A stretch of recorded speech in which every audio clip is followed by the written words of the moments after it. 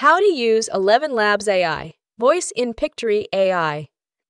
To use Eleven Labs AI, voice inside your Pictory AI project. First, prepare your script, ensuring it's clear, well articulated, and structured to reflect the desired tone and rhythm for your video.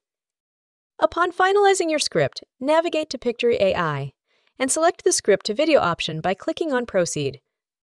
Enter your script into the script editor and wait for it to be saved, then click Proceed again. Pictory AI will commence the creation of the video storyboard. Once completed, access the audio options by selecting Audio from the side menu.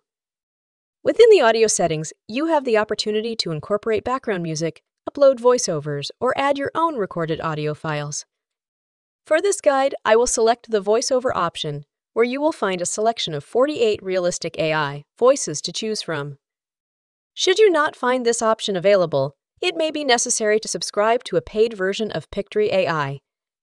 Subscription options range from starter to professional, as well as team pricing. To begin your subscription and explore these features, follow the link provided in the description below. If you found this video helpful, please like, share, and subscribe to the channel for more tutorial videos.